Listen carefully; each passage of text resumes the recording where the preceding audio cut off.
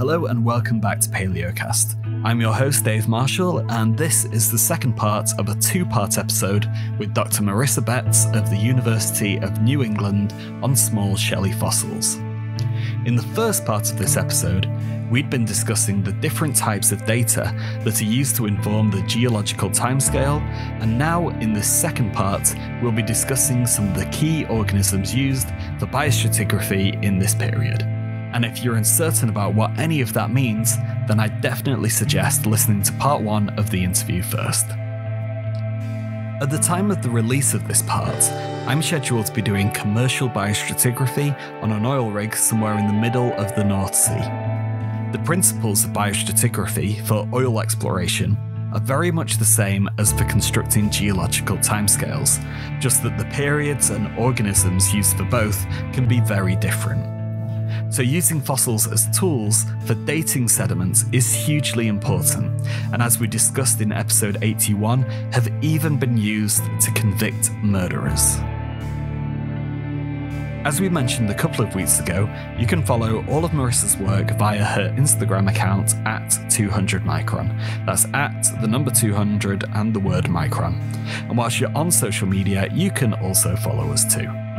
Likes and shares of any of our content will always be appreciated, and please feel free to send us your comments and episode requests by posts, direct messages, or email to info at palaeocast.com. Finally, you've got to stick around until the very, very end of this episode to hear when Marissa and I both got totally freaked out by our first ever paranormal experience here on Palaeocast. We hope you enjoy this episode.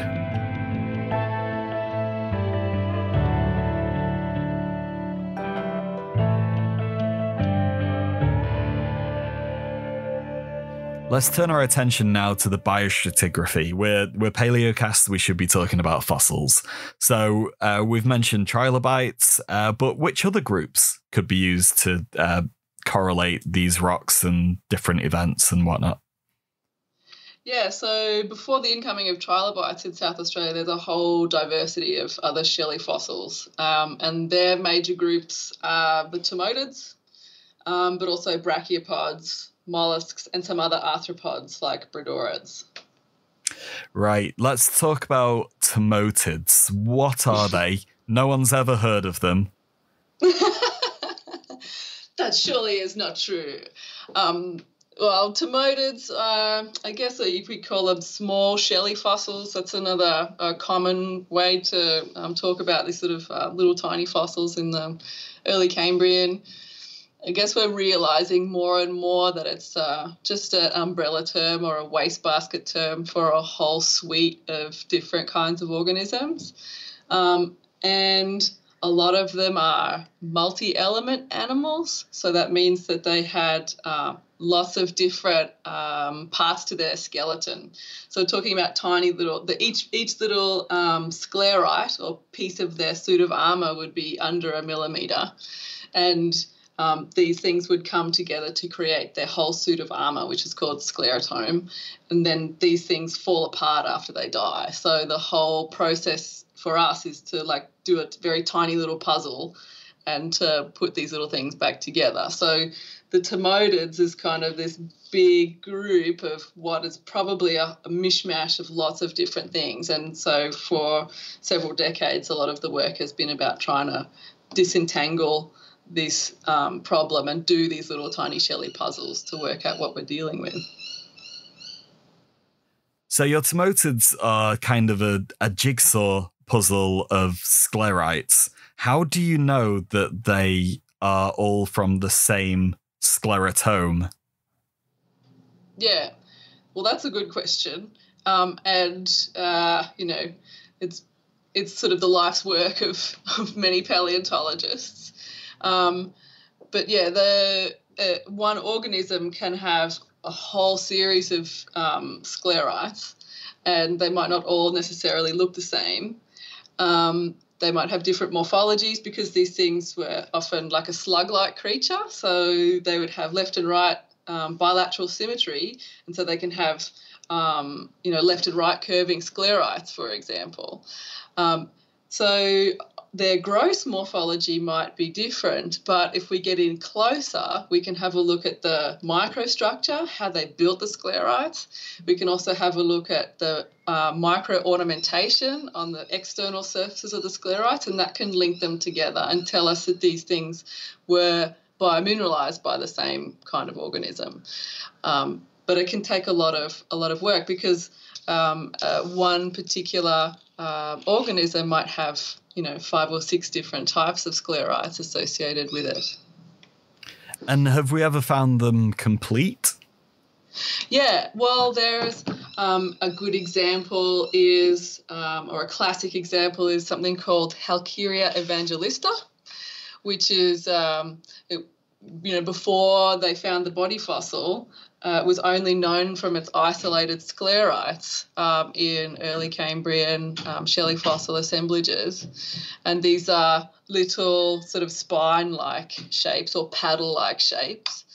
And um, it wasn't until the body fossil was discovered in the Sirius Passet in Greenland um, that they realized that that all of these different kinds of sclerites actually belonged to uh, a, a, flattened worm-like creature, um, and it has. It's quite beautiful, actually. It has these rows of different types of sclerites down its body, and it also has two larger shells, one at the head end and one at the tail end. And the head and the tail uh, shells look very similar to brachiopod shells. And so they had been described separately as a brachiopod. And the other things, well, I don't think people really knew what they were. So that is a, a bit of a poster child for a success story with, uh, with early Cambrian shelly fossil puzzles. But in South Australia, we have one as well, which is called um, Eccentrotheca helenia. And they'd only been known from very tiny little arc shaped sclerites and Glenn and his colleagues discovered the entire sclerotome, um, which was sort of articulated together. These things hadn't fallen apart. Just by luck, they had been um, able to stick together during our processing. And this thing actually is a tube.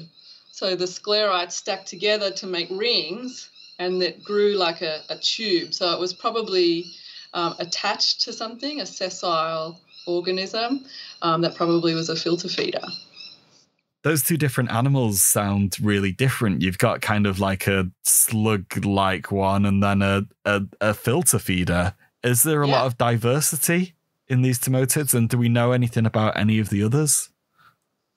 Yeah, um, probably a huge amount of diversity. Um, the small shelly fossils as a general group contains a whole bunch of different types of things. And that, that umbrella group also includes mollusks and um, arthropods and things like that. But the tommotiids are sort of um, coming out as these probably um, two different uh, styles. Um, the slug-like kind of vagrant things, worm-like things that'll get around on the seafloor, and then your um, sessile filter feeding things that are probably on a, a stem group or a, an ancient lineage um, leading to the brachiopods does it matter that we don't know what they are fully? Um, in terms well, of biostratigraphy. Well, yeah, okay, yeah. Well, it, it does if you're interested in you know early evolution and things like that. Um, but in terms of biostratigraphy, not necessarily so much. I mean, we we you just need to be able to establish that they have um, predictable and repeatable stratigraphic ranges and occurrences, and that that is the most important thing for applying them to any kind of biostratigraphic work. Okay, uh, some of the other groups that you have mentioned, uh, brachiopods, mm-hmm. are they worth talking about, or are they just brachiopods? They kind of do well, the same thing throughout history. Yeah, doing, yeah, the brachs, the brachs are cool. Like some people, you know, they love their brachs. I'm not a huge, I'm not like a massive brach girl, but um, they de- they can definitely be helpful. Some of them are like completely unhelpful, like that they're so they've been so good at dispersing themselves or they uh, you know they, they all look so similar that um, that they're not really useful for anything that is found everywhere but some of them definitely have um, uh, useful biostratigraphic ranges so we can apply them in the same way as we're using the, the shelly fossils and the tommotiids You've mentioned a few of the other groups other than tommotiids. Are they better or worse? Which are the best ones to use? So yeah, so there are we, have got tommotiids, um, brachs, mollusks, and other things um, that we're using for biostrat. Um, and definitely there are some groups that are more useful than others. Um, and it basically comes down to how they built their skeletons and what they used to build them with. Um, the tommotiids and a lot of the tommotiids um, and a lot of the brachs as well were building their um, their skeletons out of uh, calcium phosphate. Calcium phosphate is um, what our bones and teeth are made out of as well, um, as opposed to a group like mollusks um, that will build their shells out of calcium carbonate. And the critical difference here, or the um, the why that's important, is because when we are extracting the shelly fossils out of the limestones, we use an acid bath. And this is a pretty standard technique for dealing with microfossils is to acid leach them. And so we whack our limestones into a bath of acid, which is just is just vinegar, kind of strong vinegar, and it dissolves the rock away, but it leaves the fossils behind.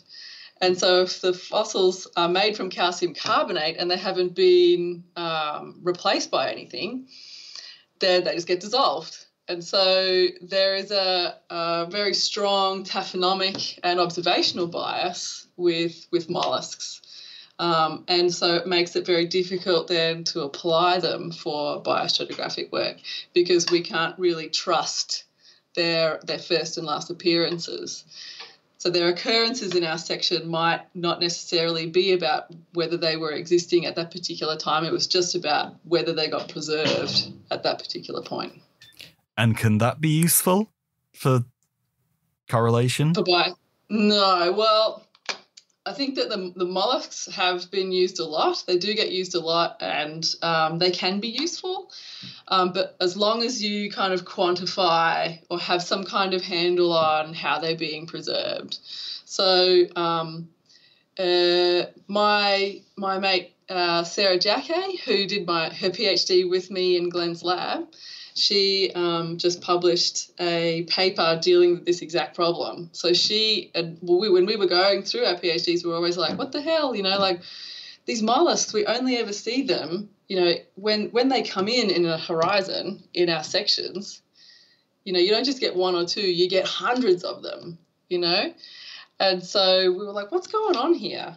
And so she did sort of a deep dive into, you know, shelly fossil um, but particularly mollusk taphonomy and how they're being preserved. And the sort of upshot was that if they're not getting phosphatized or infilled with phosphate, we'll never see them. Another group you mentioned was the Bradorids. So, what were they? What what's what's the deal? oh, I love Bradorids. I think that well, I think I love Bradorids so much because um, I dealt with them a lot during my honours project. So just, I had one year where I where I looked at a, one particular section, and I had lots of them in my um, shelly fossil residues that came out of those acid baths. And um, I actually had a number of new species, so I got to really get involved with their systematics and taxonomy. And so I got my head full of Bradorids, and I think I just love them as a consequence. But these things are um, These things are uh, very tiny little bivalved arthropods. So if you can imagine um, uh, an ancient prawn-like organism with lots of uh, appendages, and those appendages and its soft parts were protected by two shields that folded down along its back and enclosed the body to, to sort of protect it inside. Um, they are morphologically very similar to ostracods, um, which take off. Well, the Bradorids really are only found in the Cambrian, and ostracods take off from the Ordovician and have this enormous um, uh, fossil record that goes from the Ordovician all the way to the present day. But the Bradorids are really only um, restricted to the Cambrian. How useful were the Bradorids in constructing this biostratigraphic scheme? Yeah, so um, once we really started to get into the data and look at all of the stratigraphic ranges of these different fauna, it was becoming apparent that the Bradorids, we have like a, a lot as a um, quite an abundant fauna in South Australia, and it was uh, becoming apparent that they did have some pretty strong biostratigraphic signals, and so we have assemblages that are you know uh, give us an indication of a particular age, which is important for our a regional sort of scheme. But um, as we kept going with them, um, we realised that we, particularly in our younger uh, zone and the younger material we were looking at, the Bradorids um, have a lot of similarities to um, Bradorids in uh, China, South China in particular. So a lot of the genera that we see um, in South Australia are the same genera as we, we see in South China. So we have a lot of South Chinese names sort of popping up in the Bradorid taxa, but different species names. So we have Chinese genera in Australia, but they're, they're just slightly different species. And are there any other groups that we've not spoken about yet? Uh, for Biostrat in the Cambrian, yeah, there's um, uh, a group called the Archaeocyaths, which um, are often utilised. Um, we, firstly, Archaeocyaths are a um, ancient sponge-like organism. So they did a very similar thing to modern sponges. They um, were probably filter feeders, and they had like a, a root-like holdfast that could um, anchor them to the substrate. And they they built they're very beautiful fossils actually. They built the very first animal built reefs, um, and so they uh, accumulated one on top of the other and ended up making quite large build-ups actually. Um, that can be uh, one I studied um, in the Flinders was at least 100 meters in diameter and it had relief, right? So you had to sort of hike up and over it. And it's all built from Archaeocyath. And um, they created really cool sort of niches for other shelly fossils to live in. So they were really um, important ecosystem engineers in the um, early Cambrian. Um, unfortunately, their taxonomy, um, uh, they're very much oversplit, I think. Um, and um, they're probably ecophenotypic as well, which means that you know their they their morphology will change depending on the kind of environment they were living in. Modern corals do this. So in in modern reef situations, you can get an acropora coral, which is one of those branching sort of finger-like corals that in very calm water those branches are able to grow very long and spindly. But in high energy conditions with waves and stuff, they're real stubby looking. But it's the same thing, they're just growing in different places. So archaeos, they probably were like this, and that those differences in morphology has probably translated into these different um, uh, morphologies being described as different species. So that in that respect, they're probably oversplit. And because of the sort of poor handle on their taxonomy, they're not great biostratigraphic tools. It's very difficult to apply them to any kind of rigorous biostratigraphic work when you have a very little handle on um, how the taxonomy actually works. So we, we steered clear of Archaeocyaths in our work. If we start looking at some conclusions now, were you able to establish any relationship between the biostratigraphic and chemostratigraphic events. Yeah. Um, so that was something that we did see after we started to really get to grips with uh, isotopic work, was that um, in section after section, we were seeing the same sort of um, relationship between our zones. So the a boundary between two zones would be um, correlated with a particular carbon isotope event, positive um, carbon isotope values, for example. Um, and so the knock on effect for this, um, in particular, in, in our sections, was um, the appearance of trilobites. So in um, in the global scheme, there is a positive carbon isotope excursion called um, the Cambrian arthropod radiation event, which is abbreviated to the CARE, um, and that's associated with um, the appearance of trilobites. And um, in our sections, we were seeing that and uh, that positive event um, quite close to the occurrence of trilobites in our sections. And that clashed with previous ideas that had been floating around um, in the literature prior, which was that trilobites in Australia came came um, or first appeared much later in than they did elsewhere in the world. And so what our our project did, what our data did, was really pull that first appearance down um, quite a bit. Um, and more in line with the first occurrences of trilobites elsewhere in the world. So that was a really important um, uh, outcome for for our work. Can you ever infer or be certain of any causality? So we know that um, there's an appearance of trilobites, and we know that there's this isotope excursion. How do we know that they aren't just occurring at the same time? Can can we say that the appearance of trilobites is causing this isotope excursion?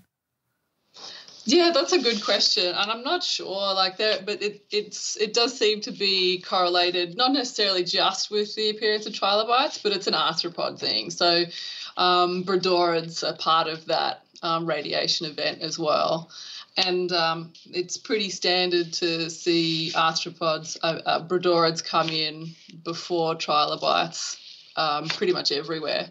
Um, and then you have the the positive excursion associated with it. Um, but yeah, I, it, whether it's the exact cause, it's very difficult to say. There is another carbon isotope um, excursion um, called the AECE, which is the Archaeocyath Extinction Carbon Isotope. A lot of them have very silly acronyms. but uh, the the Archeo one, the extinct, it's meant to be an extinction, but it's not really. It's called the extinction, but actually it's just a sort of um, the diversity sort of drops. So often you can get the AECE and still have Archaeocyath in your section, so it doesn't really make a lot of sense. But I didn't make the acronyms, you know. Oh, sounds complicated. It oh, sounds yeah. like a lot of work. On the whole, did all of these biological and geochemical events all coalesce to form a coherent and well supported scheme? Well, yeah. In the end, it worked out. It's like surprisingly well, actually. Like I was, um, you know, the as a PhD student, I think you can be very nervous about your project, right, and the potential outcomes and whether it will be successful or not. Um, and I, I was, um, I guess, looking back, I could see that I, how successful it was, and it was really the idea or built like to expand it right from just looking at the biostrat to incorporating the chemostrat as well and um, we haven't necessarily mentioned, but we also did the uh, radiometric dates. So we do have volcanic horizons um, in our sections, and so we got some hard numbers on the scheme as well. And so they're super critical for being able to sort of pin down parts of the scheme. Um, and then you can use the sort of relative dating, the biostrat and the chemostrat to work around those numbers. And so at the end of the day, it became a very tight, very robust, and very well supported um, chronostratigraphic scheme. Um, that said, like it's the kind of work that will always be um, refined. So going into the future, we'll still be we're still measuring sections. Like I've got material in acid at the moment. We're getting isotopes um, as well. So we're still be we'll be adding and refining this scheme as we go along. And how does this scheme fit in with everything else that's going on in the rest of the world? Were you able to correlate it? Yeah. So um, I guess that was the that was the critical element for us that turned it into sort of like turned it from a regional project or a regional scheme, being able to tie it into a global scheme was super critical. And the um, the isotopes really helped us do that, but the, the radiometric dates as well. So um, we what we could do then is put these, you know, often endemic faunas from South Australia, the very beautiful and abundant, uh, well preserved shelly fossils of South Australia, into a global context. Um, and um, I think that we were probably the, the first group to have really done that in a, in a reliable way. Could there ever be a scheme for the earliest Cambrian that works globally everywhere, or will it always be a patchwork of regional schemes? Yeah, I think we're we'll probably end up having to deal with this patchwork forever. Um, you know, like I said earlier, the Cambrian is a really special time, right? The um, the the ecosystems and the organisms um, are really just sort of starting to get going, and I suppose because of that, diachronism and endemism is um, always going to be our Achilles heel. Um, in the modern day, you know, we have really um, uh, cosmopolitan or globally distributed planktonic um, organisms that are used to do biostratigraphy, like really, really fine scale biostratigraphic work, and we just don't have that in the early Cambrian.